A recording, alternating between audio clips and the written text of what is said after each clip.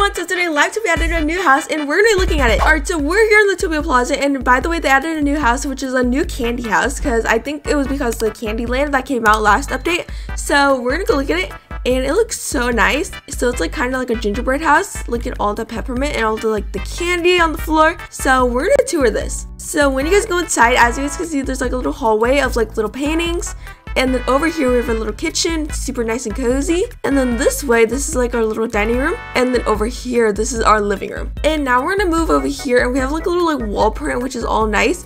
And over here, this is our first bathroom. And look at this little shelf, it's like a little bear. So now that we're done looking at that, I think we looked at the whole first floor already. So we're gonna go upstairs. So on the second floor, we have a good luck poster. And over here, we have our like little living room. And yeah, all right, so now moving over here, we have a bedroom, which is all nice. And we have like a poster again. And then over here, we have a bathroom. So over here, there's like little steps that take us up here to another room. And it's so nice, it's like pink. And then there's also like a computer and also a seating area right here.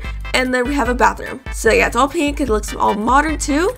So that is about it for the second floor. So now we're gonna move up to the third floor. Alright, so we're gonna move up to the third floor and this is like our bathroom right here. It's all nice and pink.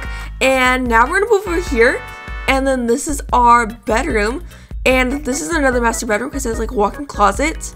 So yeah, that, that is our bedroom. And over here we have a office in here. And there's like a little sitting area and an office like chair. So now that we're done touring all that, I think it's time to show you guys a secret because we looked at all the rooms in the house.